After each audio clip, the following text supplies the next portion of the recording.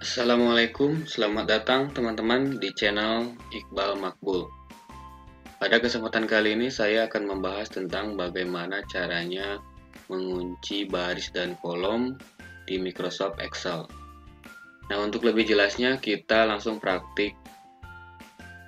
Nah, di sini saya mempunyai file atau data yaitu leger siswa. Nah, leger siswa ini mempunyai jumlah kolom yang cukup banyak, di mana kalau kita ingin mengisi data tersebut, kita harus menggeser ke sebelah kanan. Akan tetapi, misalnya kalau kita ingin mengisi sebelah sini, kita tidak tahu ini data siapa, sehingga rentan akan kesalahan data, sehingga anak didik menjadi dirugikan. Nah, bagaimana agar itu tidak terjadi? Nah, solusinya adalah dengan mengunci baris dan kolom. Misalnya kita ingin mengunci judul ini. Agar ketika kita scroll ke bawah, dia tidak ikut hilang. Ya. Nah, ini mengunci baris. Nah, bagaimana caranya? Kita klik tab view Ya, tapi sebelumnya kita blok dulu baris pertama di bawah judul. Kembali ke tab view, kemudian kita pilih freeze pen. Nah, setelah dipilih freeze pen, kemudian kalau kita scroll, maka judul-judul ini tidak ikut hilang atau bergeser, sehingga meminimalisir kesalahan data. Nah, itu untuk mengunci baris. Nah, untuk mengembalikan agar tidak dikunci, kita pilih freeze pen lagi dan kemudian kita klik unfreeze. Maka akan kembali menjadi normal. Nah, misalnya kita juga ingin mengunci kolom. Karena ke, kalau kita ingin e, geser ke kanan, nah nama ini tidak ikut hilang. Nah, bagaimana caranya?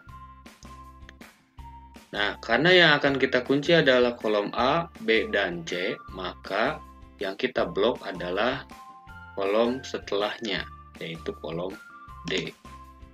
Maka kolom D ini kita blok, kemudian kita pilih view lagi, kemudian pilih freeze pen. Nah, kalau kita scroll, maka kolom nama, niche, nomor itu tidak ikut bergeser. Sehingga kita bagi, kita bisa mengisi data sampai ke akhir kolom dengan meminimalisir kesalahan data. Tetapi ini masih yang dikunci kolom. Ketika kita misalnya ingin uh, scroll ke bawah, nah baris judulnya ini ikut hilang juga. Nah, bagaimana caranya agar baris judul ini terkunci dan kolom A, B, dan C terkunci? Nah, kita kembalikan lagi. Kita unfreeze dulu. Karena yang akan kita kunci adalah baris ini, ya, baris ini dan kolom nomor, niche, dan nama, maka yang kita blok atau yang kita kunci adalah bagian ini. Tepat di bawah judul dan tepat di sebelah kanan nama. Nah, kemudian kita pilih freeze pen, kemudian freeze pen. Nah, kalau kita scroll ke bawah, maka baris judul terkunci. Kemudian kalau kita scroll ke kanan, kolom nomor, niche, dan nama terkunci. Sehingga ini memudahkan kita untuk bekerja dan meminimalisir kesalahan data. Nah, mudah bukan? Silahkan dipelajari, dipraktikkan. Mudah-mudahan video ini bermanfaat. Jangan lupa klik like dan subscribe. Terima kasih. Assalamualaikum.